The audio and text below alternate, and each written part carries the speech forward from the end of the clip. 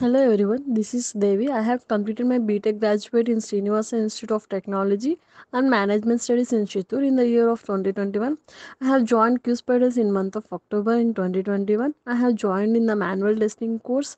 Pradeep sir teaches me how to learn manual testing from beginning of the subject and Neetu ma'am teaches me the SQL subject. Presentation and mocks are very important to improve the communication skills and technical skills. I am very thankful to the trainers and HR team for helping me to get placed in an MNC company. Thank you.